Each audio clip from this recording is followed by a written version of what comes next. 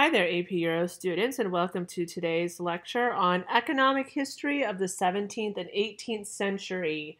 Uh, this is both sections 3 and 4 of Unit 3, of course, in AP Euro, and this is going to be a fascinating and gripping lecture. So, part 1 is the agricultural revolution of the 17th and 18th century. We will have the same objective throughout the entire lecture. So there's three parts. All parts have the same objective, which is to explain the continuities and changes in commercial and economic developments from 1648 to 1815. There's lots of key concepts for this lecture. Um, the AP really likes to stress the social and economic history in particular. So even though it may not be your favorite topic, there is a very high likelihood of it appearing on future exams. So as long as you understand these key concepts and sort of the, some examples behind them, you should be fine. Let's take a quick look at them. First one, the agricultural revolution raised productivity and increased the supply of food and other agricultural products. Number two, the importation and transplantation of agricultural products from the Americas contributed to an increase in the food supply of Europe. And the third one, labor and trade in commodities were increasingly freed from traditional restrictions imposed by governments and corporate entities. And number four, the putting out system, or cottage industry, expanded as increasing numbers of laborers in homes or workshops produced for markets through merchant intermediaries or workshop owners. But it doesn't stop there, there's more. Number five, the European dominated worldwide economic network contributed to the agricultural, industrial, and consumer revolutions in Europe. Number six, the price revolution contributed to the accumulation of capital and the expansion of the market economy to the commercialization of agriculture, which benefited large landowners in Western Europe. And finally, number seven, the attempts of landlords to increase their revenues by restricting or abolishing the traditional rights of peasants could lead to revolt. So, this is going to continue to build on some of the important economic themes that we learned about in Unit 1 on the commercial revolution, so it may be a good idea to go back and review some of those notes again in order to understand our objective, which is changes and continuities in economic history. So the major themes we're going to be we're going to see in this lecture, economic is obviously the big one, but also tech, uh, technological and other scientific innovation and social organization and development. So let's start out by discussing the state of agriculture at the beginning of the 18th century. so, ever since the Middle Ages, peasants and artisans had about the same standard of living. Um, that has been a pretty clear continuity. Most people had battled hunger and lacked sufficient clothing and decent housing. Agriculture had changed very little since the Middle Ages. In fact, 80% of Western Europe's population were farmers. Uh, this is another pretty uh, reliable continuity until we get to the Industrial Revolution in the next century. And of course, this percentage was even higher in Eastern Europe, where we're starting to see the codification of serfdom. The only exception to this was the Netherlands. Uh, as a small, compact country, it was also more urban and mercantile uh, meaning it had that strong, vibrant commercial economy, uh, especially from the 17th century. Agricultural output was very low compared to modern standards. Uh, the most uh, farmers in Europe still used the medieval open field system, uh, which was not the most productive form of agriculture. And again, we did talk about the open field system way back in Unit Zero. So that was still the, the predominant method of farming. Um, and because it did not yield, meaning it didn't produce a lot of uh, food, this made uh, farmers and peasants very susceptible to things like famine. And famine was a pretty regular occurrence because you could basically count on a failed harvest once or twice a decade, which would cause famine Um, and most uh, peasants did not have enough food to really put aside and store. They didn't have enough money to buy food if there was a famine. So this caused uh, sort of an element of chronic malnourishment in the population, and especially during bouts of famine, that malnourishment increased. This would make people more susceptible to disease, uh, which, you know, diseases like the plague, and this became sort of a natural check on population, which we'll explore later. And science was really just a branch of theology and had no real application in agriculture. Uh, we will start to learn about the scientific revolution in our next unit, uh, but it still has not become very mainstream and it's still pretty limited in its scope. It begins in astrophysics. It takes a while before it really is applied to things like agriculture and industry. Another uh, important continuity that we've seen since the Middle Ages is this idea of subsistence agriculture, which, which really, of course, was supported by the open field system. So, subsistence agriculture is really farming just for the purpose of survival. Uh, the open field system only really produced enough land for people to have food for themselves. There was really no surplus, there was no extra. So this meant that peasants generally did not sell their food commercially. They only grew what they needed in that region. And most farming on common lands was done for the subsistence purposes for the village. So usually there's like the village or the manor owned by the, the lord, and everyone on the village or man- manor would farm in the common lands, which were technically owned by the lord, but he let everyone work there too uh, you know, maintain their livelihood basically. These common lands were open, and usually everyone had a strip of, of agriculture. Uh, these lands were not divided by fences or hedges. Everything was open and accessible, and there were there were you know established systems uh, within each community to make sure people knew what, what which was their strip, and um, you know that things were done fairly and, and, and equitably and things like that. Um, open fields were farmed as a community. Like I said, everyone was involved. Agriculture in villages changed little from generation to generation. It was really based largely on community and family traditions. But one of the problems with agriculture was the exhaustion of soil. Uh, soil gets to a point where if it is not replenished um, with another product or if it uh, doesn't have time to recover. It runs out of nutrients and it essentially becomes like dead dirt. And you can't grow anything in it. And that was definitely a problem uh, with the and that and that's why we have the open field system. The open field system was this idea that you rotate your fields and you let one field remain uh, kind of empty or fallow and that allowed the soil to replenish so that you could use it again the next year. But the downside of that, of course, is that it limited the amount of food that could be produced from your land.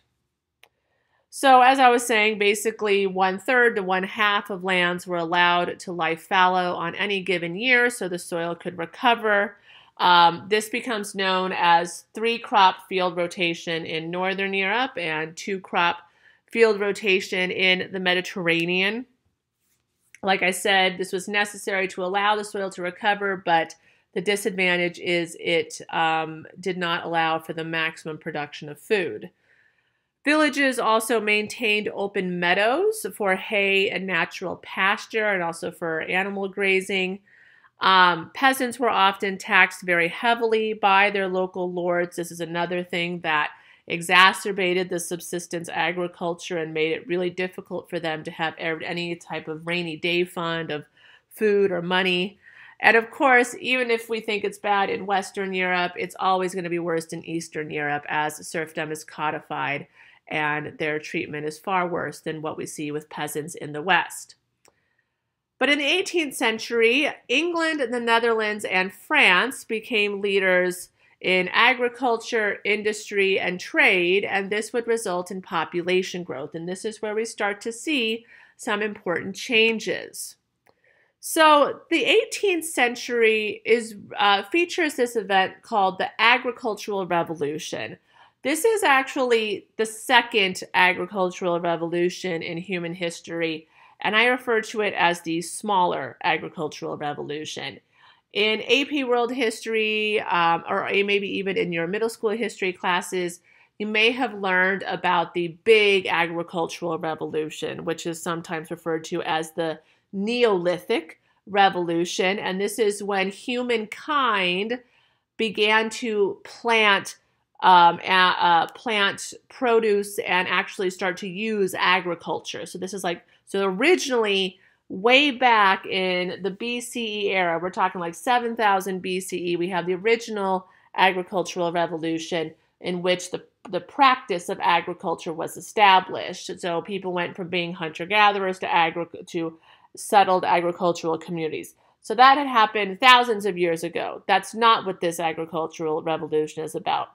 This agricultural revolution, which takes place in the 18th century, um, is about new techniques and new technology applied to agriculture. So it's about new techniques and new technology applied to agriculture. And this is a necessary precursor for the Industrial Revolution. Now, the Industrial Revolution is probably one of the single biggest changes it, for all of humanity and all of human history, basically since that first big uh, agricultural revolution in the Neolithic era. So, this small one is leading us into a massive change, which we'll talk about in second semester. Anyways, let's get to it. So, this agricultural revolution of the 18th century resulted in increased crop and animal yields that could feed more people. And that, like I said, is going to be critical for the Industrial Revolution. This was developed through new methods of cultivation. Crops were now grown in new areas like reclaimed wastelands and uh, previously uncultivated common lands, so common lands that had not been used for farming. Also, the selective breeding of livestock would lead to better cultivation of livestock. So that's things like horses, cows, pigs, chicken, your basic farm animals.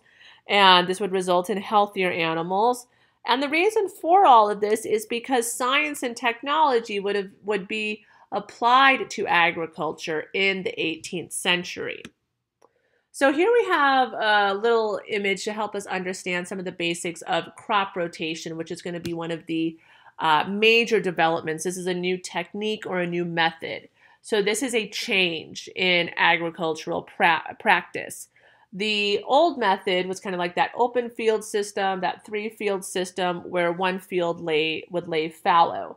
But we will see that with this new type of crop rotation, fields could continue to be used as long as the crops that were planted alternated. Um, and we'll talk more about this as we get into the lecture. But here you can see kind of a visual of that, that con this new concept of crop rotation, which is really important in the development of the agricultural revolution. So in the agricultural revolution, the Low Countries, that means Belgium and especially the Netherlands, led the way. So there was an increased population in the Netherlands. the, the Netherlands, like the proper Dutch Republic, had a fairly concentrated population. And this meant that they had to find new methods of agriculture. This was a really this is really important for their survival and, and their ability to function. Uh, the growth of towns and cities in this region created major markets for food that was produced in the countryside. So Again, the Netherlands were more urbanized than other parts of Europe, so there was a greater demand for food in the cities. So there was a need for the countryside to produce some surplus. Subsistence agriculture was no longer going to cut it. This also led to regional specialization in the Netherlands. Uh, this means that certain areas were used for farming, certain regions were used for fishing and shipping, and towns and cities were used for mercantile activities. By the mid 17th century, that's the 1600s, the Dutch enclosed fields, they rotated crops, they employed the heavy use of manure for fertilizer. Manure, in case you don't know, is animal poop, like especially from cows, and they planted a wide variety of crops. And the reason the, the Dutch were so successful at this is because they had this free and capitalistic society.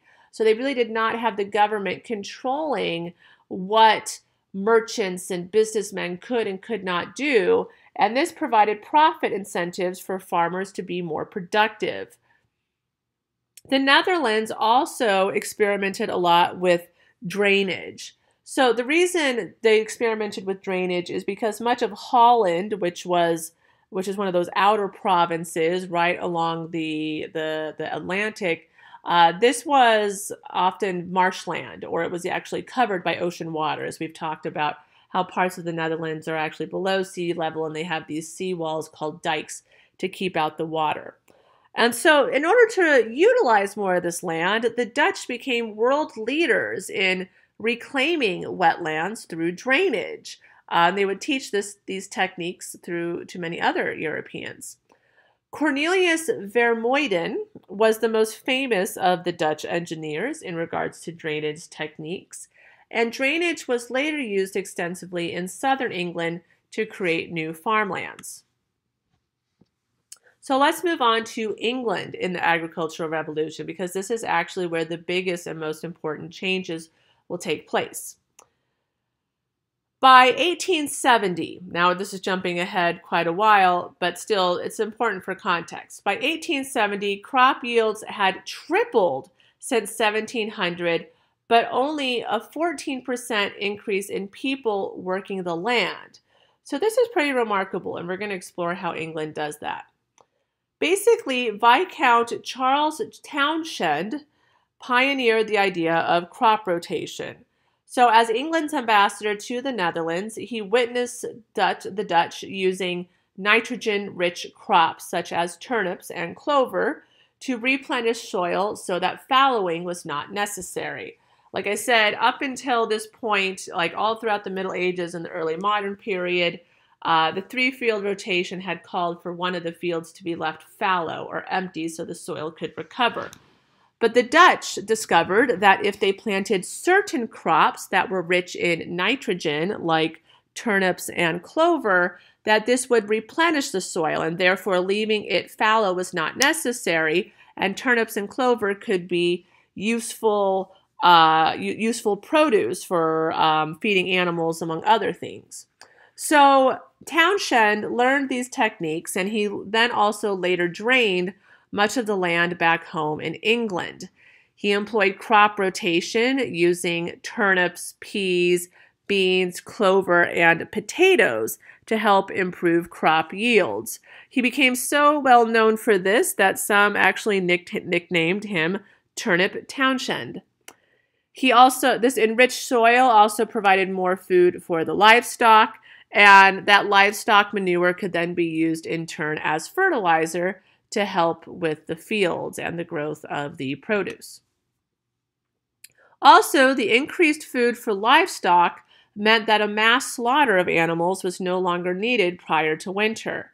So, before this, it was really a common tradition for villages to slaughter most of their livestock because they wouldn't have enough food to help them survive throughout the winter.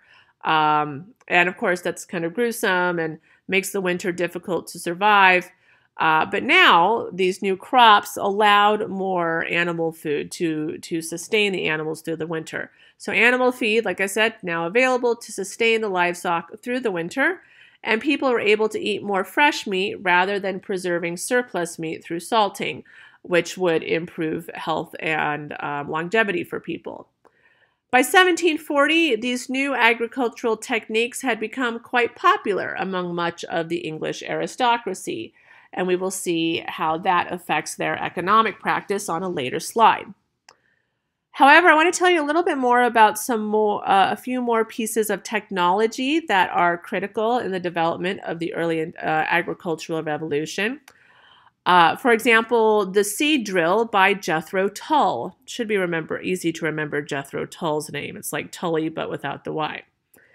So, his innovation of the seed drill is an example of how the empiricism, which basically means like the process, the thought process of the scientific revolution, was applied to agriculture. So, his invention, the seed drill, allowed for sowing crops in a straight row rather than scattering it by hand. And the horses were used for plowing rather than slower oxygen. So, essentially, this is a faster, more productive way to plant the seeds in a field as you are, are, are doing agriculture. And then Robert Bakewell pioneered techniques for the selective breeding of livestock. Uh, so this allowed larger and healthier animals to be developed. It also resulted in the increased availability of meat, wool, leather, soap, and candle tallow, all of which were uh, animal based products, and also more manure available for fertilizing. So, just to clarify what we mean by selective breeding, um, basically you're going to you're going to uh, deliberately breed the animals that have the desirable characteristics that you want to continue in their offspring. So if you want the fattest pigs, then you're going to have the fattest boy pig mate with the fattest girl pig, and they will produce the fattest little piglets, basically. If you want uh, cows that produce lots of milk, you're going to make sure that the bull mates with your female cows that produce the best milk. I think you get the general idea. Now, related to this is, of course, the Columbian Exchange. We've mentioned the Columbian Exchange back in Unit 1, so we don't have to spend a lot of time uh, re uh, reviewing it right now. But the Columbian Exchange does play a major factor in the overall agricultural revolution because this introduced important new foods from the New World. And these new foods really became increasingly available in the 17th and 18th century. They actually weren't that common in the 15th and 16th century. Uh, they were met with a bit of skepticism. Also, uh, they still were just limited, you know, they just hadn't made their way across Europe. But some of these new foods from the New World, like potatoes and corn, were really important because they were so useful. They were highly nutritious and really, really easy to grow. And these were some of the crops that would also help with the replenishing of the soil. So new the potatoes and corn are kind of like the basics, but there's tomatoes, there's all types of other foods that are going to be introduced to the European diet to diversify the cuisine, which not only makes food taste better, but it'll also make people healthier. Now, one of the major consequences of the, of the agricultural revolution is something known as the enclosure movement. Now, the enclosure movement began in its own right as early as the 16th century. Basically, this is when landowners uh, who want to increase profits will enclose their fields to kind of be like, this field is mine and no one else can use it. And I'm doing this because I want to keep all the profit that comes from this field. So this began in the 16th century when landowners began enclosing fields for the purpose of raising sheep. Um, and this is a little bit different from 18th century enclosure, which was based, uh, based largely on agriculture. Now, as agriculture began to become more profitable in the 18th century due to these new techniques and technology that I've been discussing, um, the enclosure of fields intensifies because the greed of the landlords will also intensify. The practice effectively ended the old medieval tradition of the open field system on common land. So, again, the enclosure movement produces an important, an, another important change in agricultural process and productivity. Landowners be, uh, began to consolidate their scattered holdings into compact fields that were, fat, were fenced in. So basically, they're fencing in their fields and saying, These are my fields. No one else can have them. They did not allow, you know, villagers and peasants to work the fields for their own benefit. Common pasture lands were also enclosed. Again, that limited access to for people to raise their own animals. Um, these wealthy landowners basically enjoyed something called freehold tenure, uh, which means that they they since they owned these lands and had let people just use them, they could decide to kick them off whenever they wanted. Uh, the ownership and the control of lands indefinitely, thus restricting the use of the village common. So because they had always owned these lands, they're like, okay, guys, you can't use it anymore. And the villagers were like, wait, you can't do that? And the landowners were like, nope, yes, we can. We've always owned this land. It's called freehold tenure. So you guys have to go somewhere else. Thanks. Bye. So this enclosure movement would result in the commercialization of agriculture. This is another big change that we are witnessing in economic history. So, just a hint whenever you hear me say something's a big change, like write that in the margin or circle it or highlight it in a special color. Because remember, the objective of this of this whole lecture is about continuity and change. So there's a very good chance you might be asked about that at some point to identify examples of change and continuity in economics and agriculture. Just saying.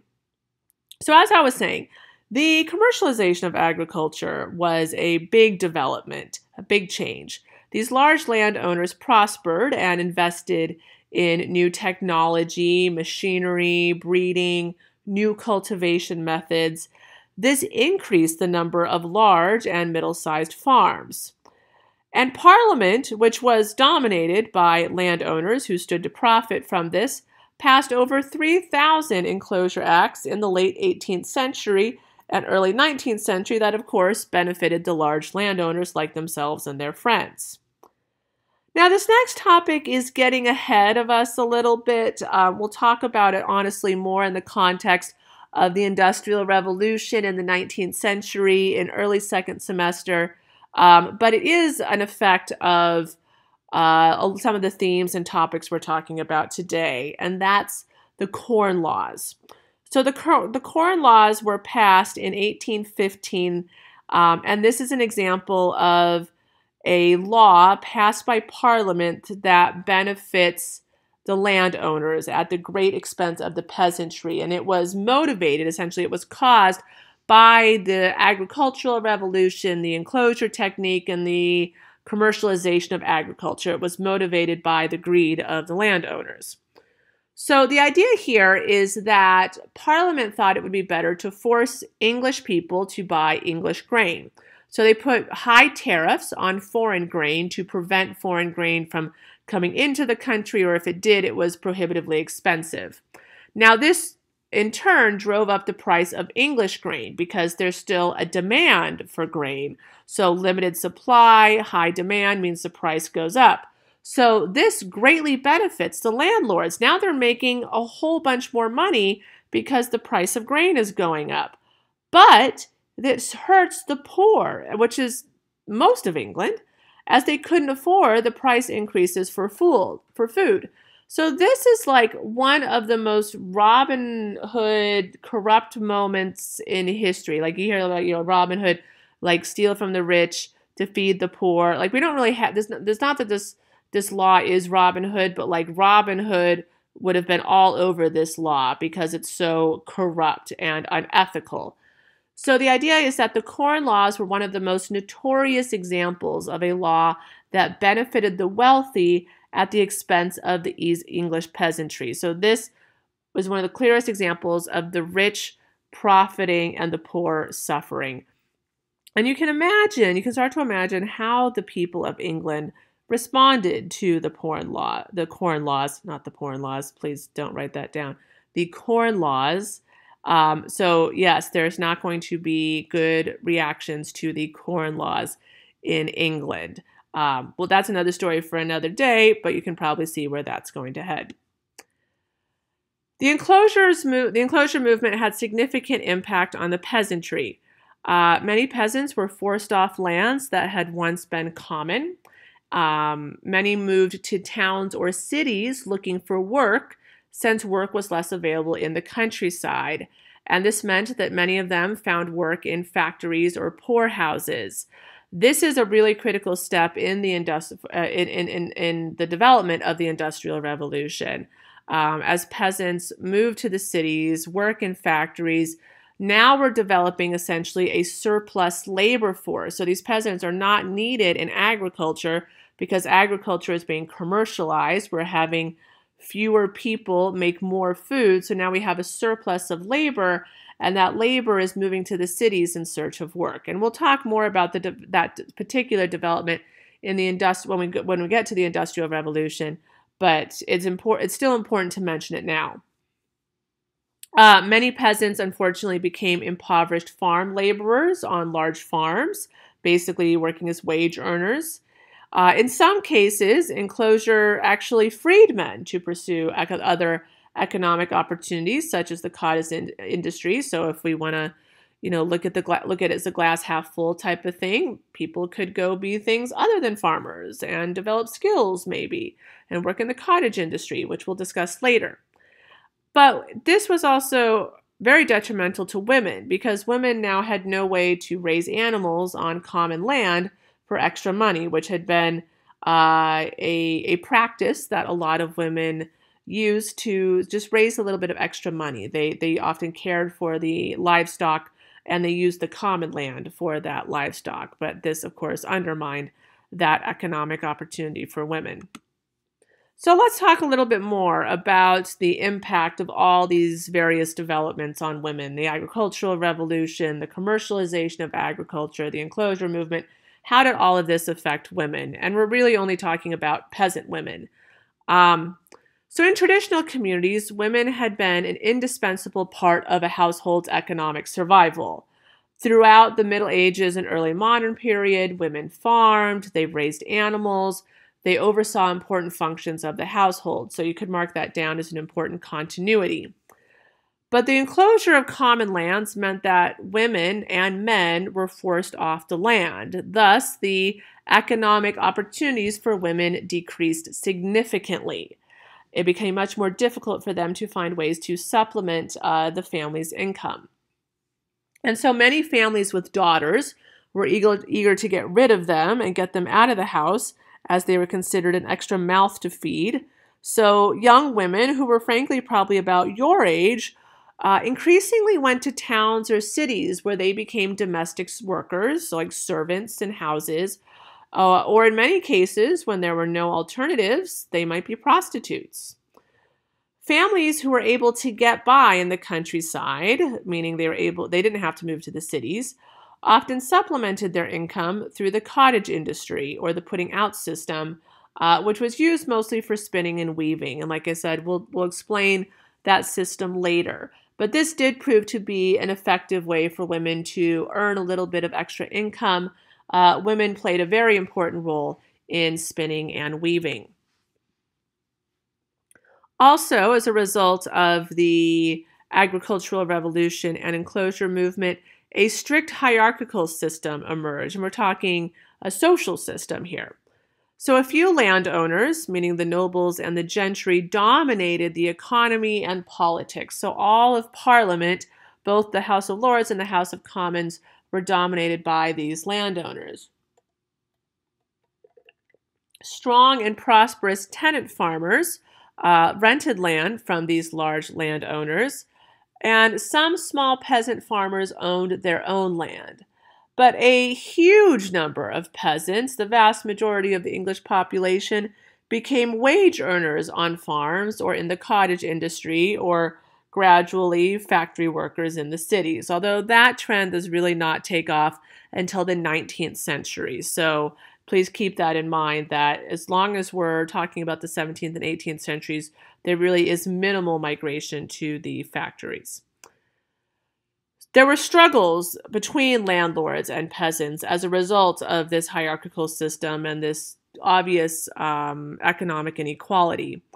Game laws were passed on the behalf of landowners, whereby any animals on an owner's vast lands could not be hunted for food. So, landowners basically did not want average people, like peasants, hunting for uh, food on land that they did not own. So, peasants who were without food would risk severe punishment if they were caught hunting for food on an owner's land. And this even involves, you know, things like pheasants and other types of birds. It doesn't even involve big things like deer. Um, so, you can see that the landlords are making it really difficult for peasants with these enclosure laws and the game laws and things like that so it was, and the corn laws, of course, you know, those as well. So, not surprisingly, revolts sometimes broke out in response to these increasingly oppressive conditions for landless peasants. We'll explore more specific examples of that as we get into the Industrial Revolution of the 19th century, but you can see how the economic inequality is already established in the 18th century. Now, there's some historical debate on the impact of the enclosure movement.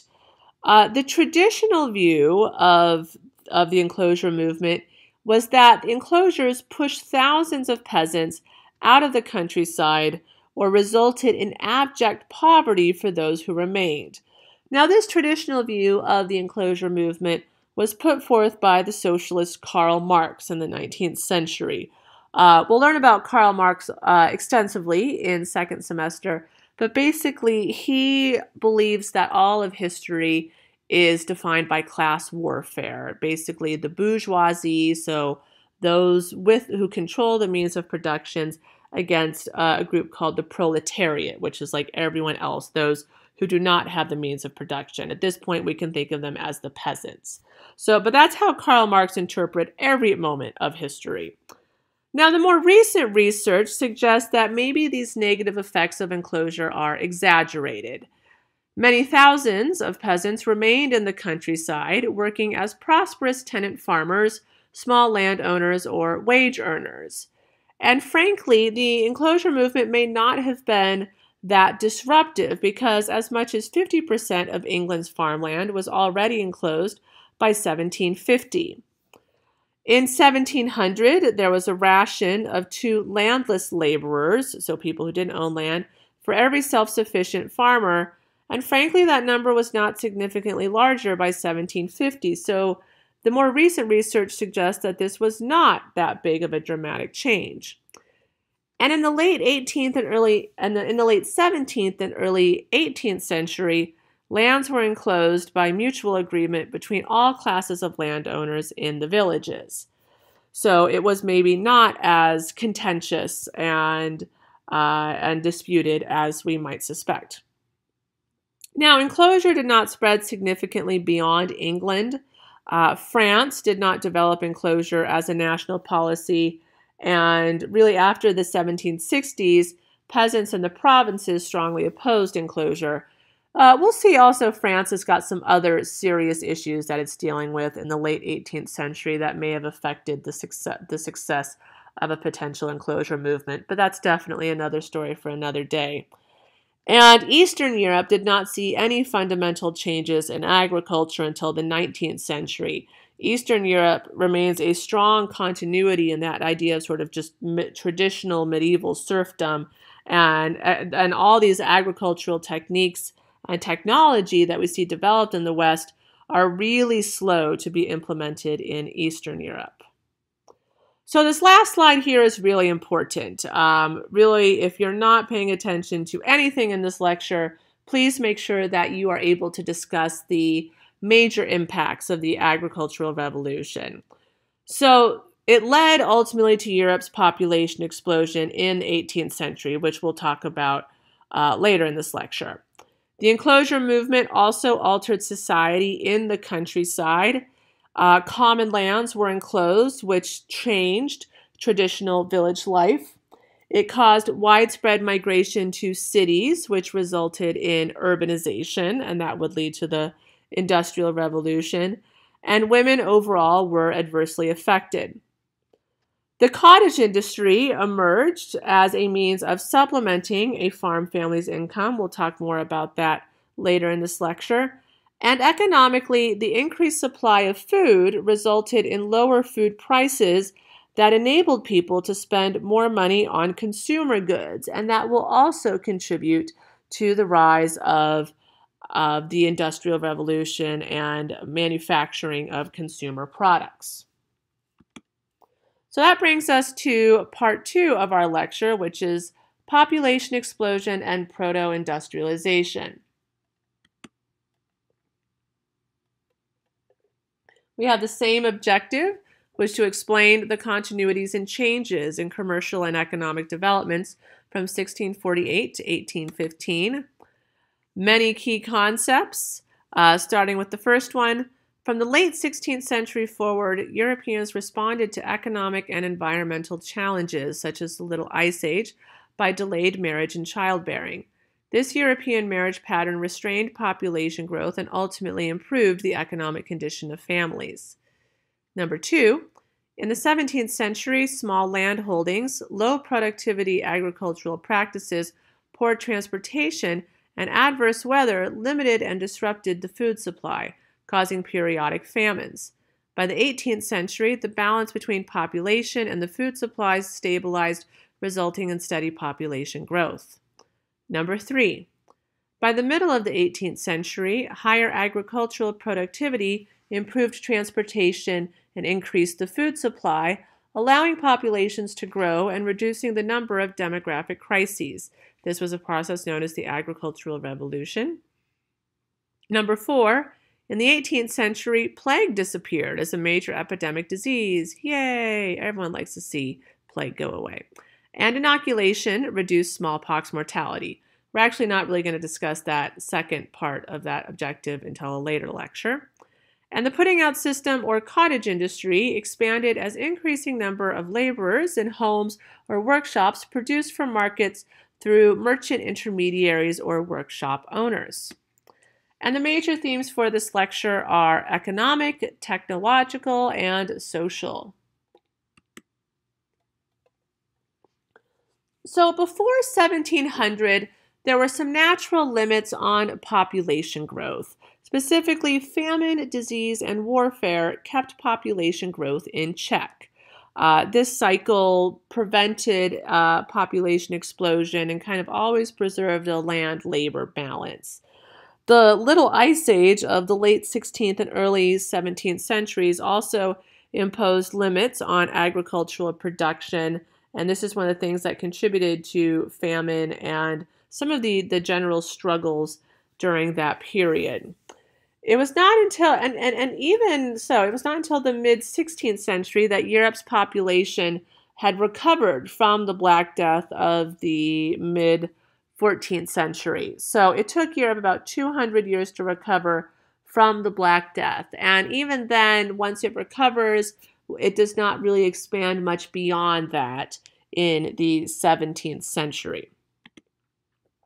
Now, after 1700, so as we get to the 18th century, there's going to be significant population growth. And so this slide is about the causes of that population growth.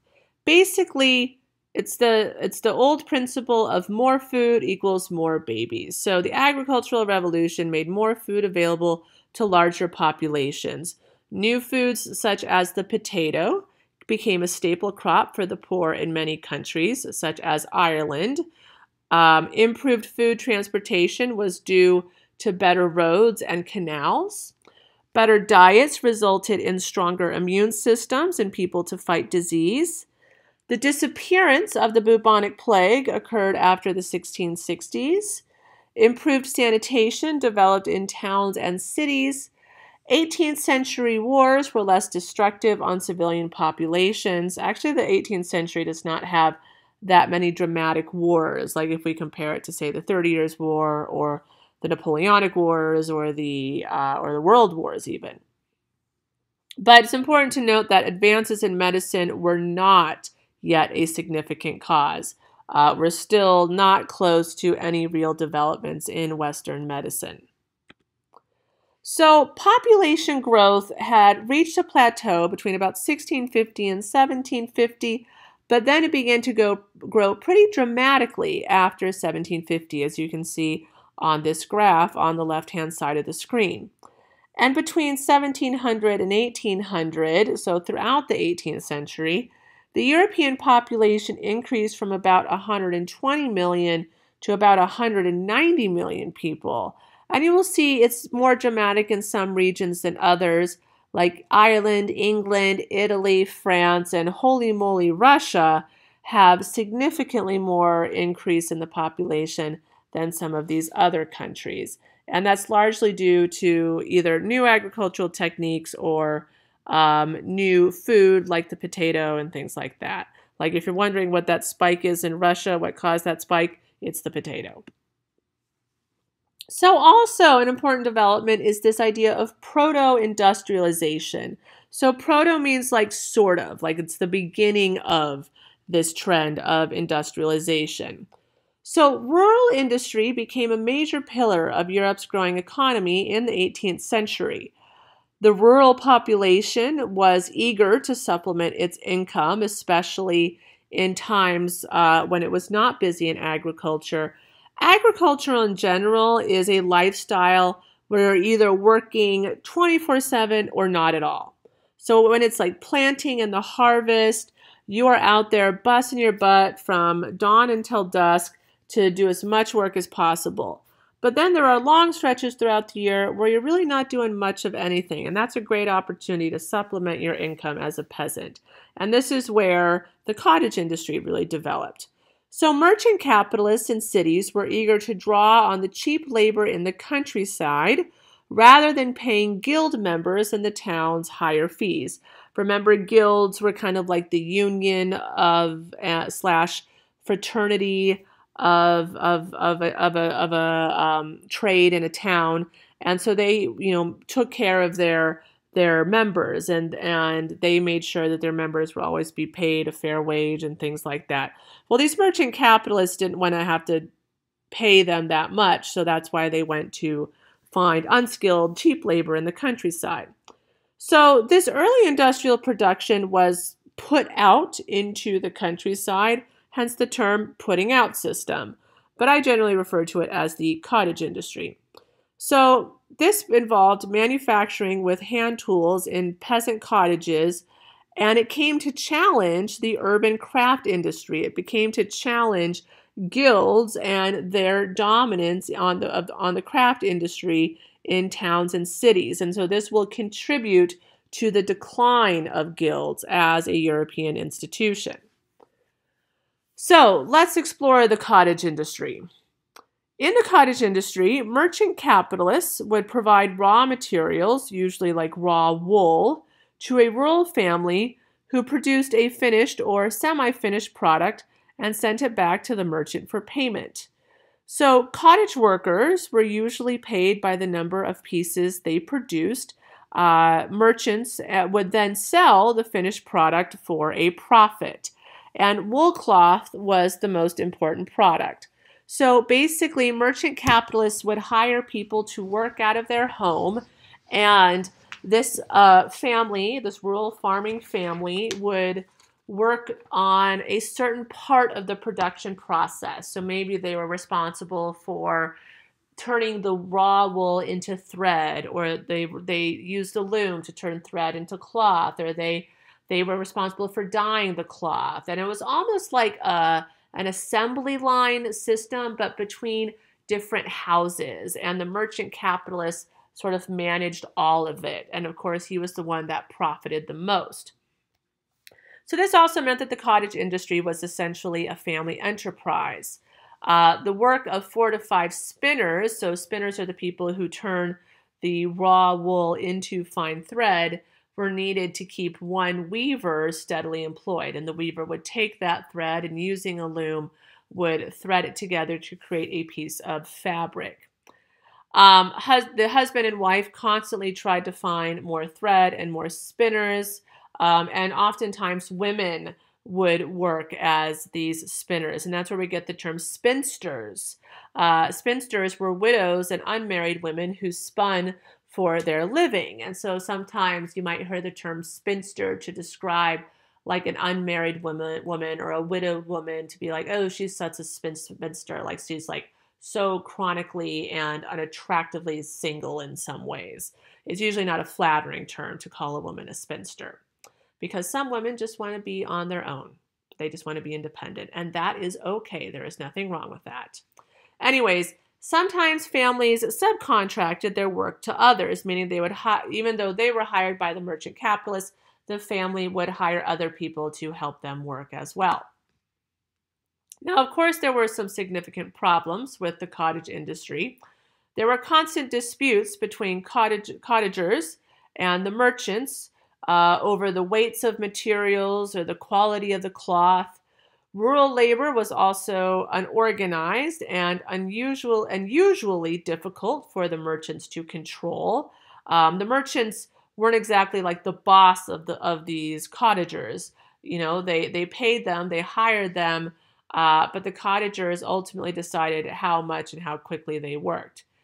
And merchant capitalists searched for more efficient methods of production became profound, resulting in the growth of factories in the Industrial Revolution. So, as merchant capitalists became frustrated with maybe the slow pace of the cottage industry, they began to experiment with new technology in especially in textile production and this is what ultimately would give birth to the industrial revolution. So the industrial revolution has its origins in the cottage industry.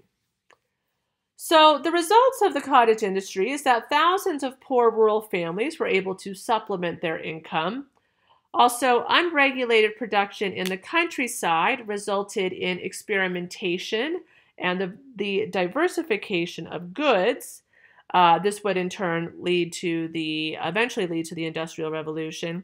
And goods uh, included textiles, so all these types of cloth products, knives, forks, housewares, buttons, gloves, clocks, and musical instruments. The cottage industry flourished first in England. It's really most commonly associated with England, where the spinning and weaving of woolen cloth was most important. By 1500, in 1500, half of England's textiles were produced in the countryside, and by 1700, that percentage was higher. The putting out system in England spread later to continental countries such as France and Germany, uh, but it will never be quite as prolific as it was in England. Now, this also, like I said, would lead to some proto industrial technology. Um, we'll talk about this stuff more in the context of the Industrial Revolution. We'll revisit some of these topics, but this still get this at least gives us an indication of where we're headed. So, proto industrial technology is an example of how merchant capitalists are experimenting with new methods to increase their productivity and ultimately make more money. So, for example, in 1733, John Kay invented the flying shuttle, which enabled the weaver to throw the shuttle back and forth between threads with, with one hand. So, this uh, uh, expedited, meaning it sped up the production of, cl- of cloth. And then in 1764, James Hargreaves invented the spinning jenny, which mechanized the spinning wheel so that eight spools of thread could spin simultaneously. So now he's inventing a sort of early machine that could do the work of eight women. Um, and so that is, of course, going to revolutionize the speed of production and encourage more and more innovation, which eventually leads to the Industrial Revolution, like I said. And now, finally, we are at part three, which is fortunately the shortest part of the lecture and it is all about various economic developments and mercantilism. So we're going to expand our scope here and look at a little bit more of the global economy and especially how this relates to some of the European colonies that were established back in Unit 1. Same objective, we are exploring the continuities and changes in commercial and economic developments from 1648 to 1815 Several key concepts to know for this section. The first one, European, the European dominated worldwide economic network contributed to the agricultural, industrial, and consumer revolutions in Europe. Number two, European states followed mercantilist policies by drawing resources from colonies in the New World and elsewhere. Number three, the transatlantic sla- slave labor system expanded in the 17th and 18th centuries as demand for New World products increased. And number four, overseas products and influences contributed to the development of a consumer culture in Europe. But it doesn't stop there. Number five, the importation and transplantation of agricultural products from the Americas contributed to an increase in the food supply in Europe. Number five, foreign lands provide, uh, maybe that was number six, sorry. Uh, foreign lands provided raw materials, finished goods, laborers, and markets for the commercial and industrial enterprises in Europe. And last but not least, the development of the market economy led to new financial practices and institutions. And the same themes economic, technological, and social, but we're also going to add interactions into this one as we broaden our scope to look at how European economics are affecting the colonies in the New World. So, our first topic is European maritime expansion in the 18th century. Ultimately, world trade became fundamental to the European economy. Uh, especially the Atlantic seaboard states in Spain, France, the Netherlands, England. But even these major players, um, their, their trade affected um, all other European states. So even though we have like the major Atlantic states, um, their business will still affect all the other European states. So that's why it's fundamental to all of Europe. Now, sugar became the most important commodity produced in the Atlantic trade. Um, tobacco, cotton, and indigo were also important, but sugar was the most popular and most profitable, and it largely came from the New World. And the slave trade was enormous, and these two things were connected because sugar was a very labor intensive crop, and so African slavery was utilized for the production of sugar. Now, Spain and Portugal actually were able to revitalize their empires and grow economically from renewed development, but they're not going to be the powerhouses that they were in the 15th and 16th centuries. But uh, you know, Britain, France, the Netherlands will continue to remain on top economically. But it's still nice to see Spain and Portugal making a bit of a comeback. Uh, like I said, the Netherlands, Great Britain, and France benefited the most, and by far, uh, England had the largest number of immigrants to the New World at this time. So England had the largest navy, the largest merchant marine, and it also had the most profitable colonies. Um, but it also had the most migration to those colonies, and that's one of the key reasons why this lecture is being delivered to you in the common language language of English here in the United States. Now, mercantilism was really the defining economic feature um, of the time period due to the colonies and the world trade. And we've already talked about mercantilism. So this slide really is just a general review of the characteristics of mercantilism. So I'm not going to spend a whole lot of time on it. Remember that the main goal of mercantilism was economic self-sufficiency. This was the goal of many European states, especially France, one of the most recent examples that we have studied. And a country or empire sought to create a favorable balance of trade by exporting more than it imported. So again, your exports should be greater than your imports. And the way this was usually achieved was through by was by tariffs, by issuing tariffs. Uh, these are basically a tax on imports, and that's a way of limiting imports. Mercantilism is also based on this idea of bullionism, where governments sought to build up large reserves of gold and silver and prevent the flow of these precious metals out of their country. Uh, the idea here is that the more gold and silver you have, the wealthier you are. It's also based on this idea that wealth is very finite and manifested as gold and silver. Colonies were also critical in the, in the concept of mercantilism because colonies uh, provided raw materials and markets for the mother country. Also, a key part of mercantilism is that states granted monopolies to large countries, uh, or to companies, excuse me. So, for example, this is how the British East India Company or the Dutch East India Company became so wealthy and powerful as they basically had a monopoly on trade for these countries. And states encouraged development of domestic industries so that a country would not have to buy a finished product from a rival country. Again, that idea of economic self sufficiency.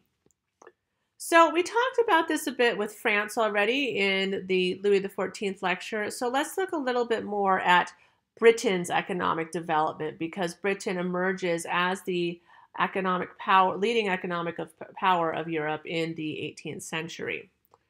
Um, the Bank of England played a major role in this. It was an important source of capital for economic development. So the Bank of England provided uh, capital like loans and resources for these early merchant capitalists in their trading ventures or the development of their cottage industries. Also, the Act of Union in 1707 unified England and Scotland. And the reason for this is because Scotland wanted to benefit from trade within the English Empire. So you might remember that Scotland and England had a lot of political issues. There were definitely a lot of rebellions against the Stuart kings of England from Scotland. Uh, so it may have perplexed you a little bit to be like, well, why did Scotland then join with England? Well, it was really about money. It was about the economic benefit. That's one of the reasons Scotland hasn't um, hasn't separated from England yet either. In, in recent years, there was actually a, a referendum on whether or not Scotland should should leave the United Kingdom, but that referendum failed, and it was largely because of economic reasons. Although we'll see if that changes with Brexit. But that's going to be another story for the future. Anyways, British mercantilism differed from France in that government economic regulations often served the private interests of individuals and groups as well as the public needs of the state. So Britain was much more supportive of uh, private enterprise and private trade, whereas authoritarian states like France wanted an economic system that primarily benefited the state rather than businessmen and workers. Uh, for example, in France, the Intendant system was extended throughout the French Empire um, as a means of, of the government controlling the economy. So there's more of a, a free market in England than there is in France, for example, and this is one of the many factors that contributes to England's economic success and France's economic failure. Now, England also had passed something called the Navigation Acts. Uh, this was these were laws passed by Parliament to increase military power and private wealth in England. The first act was passed in 1651 uh, in order to reduce Dutch domination of the Atlantic trade. It was issued by Oliver Cromwell. This was one of the few positive contributions Cromwell had to English society and it was then extended by Charles II in 1660 and 1663. So, the reason the Navigation Acts are significant is because um, the Navigation Act required that most goods imported from Europe into Great Britain had to be carried on British owned ships with British crews or on ships of the country producing the specific good, which basically meant that Britain was not going to buy stuff that was brought in by France or Spain. So it gave British merchants and ship owners a virtual monopoly on trade with the colonies. Uh, so, to, in order to trade with the British colonies, so it's not like France basically could send a ship over, get a bunch of cotton and molasses and other things from the British colonies, and try to sell that to Britain. Britain would not allow that with the Navigation Acts. So, colonists were able to ship their products, things like sugar, tobacco, and cotton, on British ships and buy almost all of their European goods from Britain, which has both positive and negative consequences. Great Britain was also highly involved in triangular trade, which was really the center of the Atlantic economy. It revolved around the West Indies and the Caribbean and included North America and Africa. Think of it as like a giant triangle in the Atlantic. And the classic model for triangular trade, especially with Britain, is that finished goods from Britain uh, to North, their, their finished goods would be brought from Britain to the North American colonies, where raw materials like fish and rice and oil and timber were then placed on ships and sent to Jamaica or Barbados, where those goods were traded for sugar and could be sent back to Britain for refining. So the triangular trade could also go from you know the British colonies in in the north to the Caribbean colonies back to um, back to uh, Europe. But also the Atlantic slave trade played a role. New England colonies could also ship rum to Africa, where slaves would then be placed on ships and headed to the West Indies and traded for molasses, which was then shipped northward to the American colonies. But much of this trade was illegal under the navigation laws because traders, both English and American, made fortunes nonetheless. You know, the navigation laws could only be enforced to a certain extent, and in the faraway North American colonies, uh, people did what they had to do in order to make money, and that sometimes included trading with uh, countries that were not the British. But don't worry, we won't tell. So the slave trade continues to be a major factor in the world economy. In fact, there was dramatic growth in the Atlantic slave trade um, as uh, the as agriculture and uh, sugar plantations in the in the colonies expanded. uh, 12.5 million Africans were transported to the New World in the 17th and 18th centuries. Half of the slave trade occurred aboard British ships, about 25% on French ships, and the rest on Dutch, Portuguese, Danish, and American ships. British and French governments gave chartered companies monopolies over the slave trade in the 17th and early 18th century. And therefore, forts, also sometimes called factories, were set up on the West African coast to oversee and protect the slave trade. Although, despite their best efforts to keep a monopoly on the slave trade, uh, independent slave traders ultimately broke that monopoly by the 1730s. So while the British uh, dominated the slave trade, there's definitely going to be sort of rogue slave traders who are not attached to one country or another.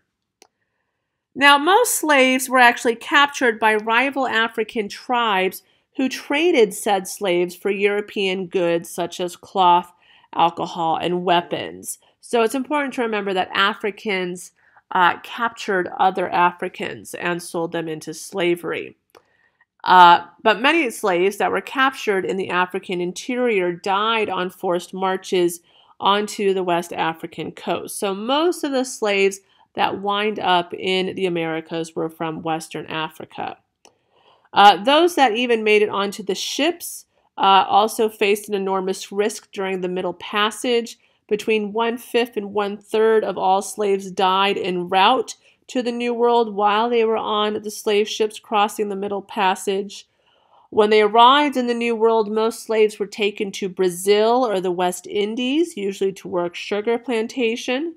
Um, as many as 400,000 ended up in British North America in colonies such as Virginia, Maryland, and South Carolina, the typical American South. And in those colonies, they were primarily used for the cultivation of cotton and tobacco. But like I said, the vast majority of slaves went to the Caribbean and Brazil, where they were used in uh, sugar production. So the slave trade dwindled significantly by the 1780s, um, and this was due to uh, some advocacy for uh, for um, abolition. So abolition movements. Also, France outlaws slavery as part of its revolution, and slavery starts to develop a, a negative stigma. Um, and so the slave trade dwindled.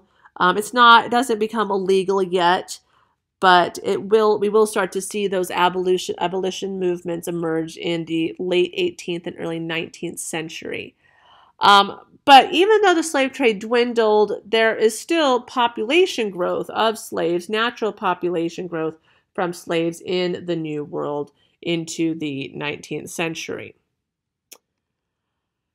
And we're starting to wrap things up now with our last topic, looking a little bit more at colonial Latin America in from in, in regards to the Spanish colonies, in the 18th century, Spain's colonies remained a very important part of the Atlantic economy despite Spain's own economic decline. Silver mining ultimately recovered in Mexico and Peru as they discovered new sources of silver. Um, this meant that silver mining quadrupled in the 18th century, and New World silver accounted for about half of the world's supply of silver. And the Spanish Empire began to recover under the reign of Philip V. That was the Philip of Anjou, who was Louis XIV's grandson. So he actually proved to be a pretty successful king of Spain. It probably helps that he wasn't inbred into a state of retardation. But anyway, uh, he helped to make uh, to rebuild Spain's navy so that it became the third most powerful in the world behind Britain and France. Um, after the War of Spanish Succession, Spain improved its control over its empire for at least another hundred years, although its colonies will start to uh, establish their own independence during the Age of Revolutions in the early 19th century. And the enlightened despotism, so that's like the enlightened absolutism of Charles III, ultimately expanded economic and administrative reforms that would also improve uh, Spain proper and its empire. We'll talk more about that when we get to enlightened absolutism and specific examples in a future lecture. Um, these next topics we talked about a little bit already back in Unit 1, but it's they're still relevant as we examine sort of the economic development of Spain's New World colonies. So you might remember the term Creoles. Creoles were Spaniards born in Latin America. Um, initially, they were not as powerful as the Peninsulares, who were Spaniards born in Spain. But by the time we get to the eight to the 17th and 18th century, Creoles were really the top of the social ladder. They came to rival the power of traditional Spanish authorities. And they wanted to recreate a European style aristocracy in Latin America, with, of course, the Creoles at the top. Some were wealthy merchants who benefited from smuggling activities. Uh, many of them were landowners. And American Indians were shifted from forced labor to debt peonage on owners' land. So the Creoles utilized American Indians um, to labor on their land. And the Creoles only accounted for about 20% of the American population, but they are going to own far more than 20% of the land. Now, the mestizos were children born to Spanish fathers and Indian mothers, like I've mentioned earlier in Unit 1. Colonial Latin America was a very mixed race society, and these mestizos represented about 30% of the population.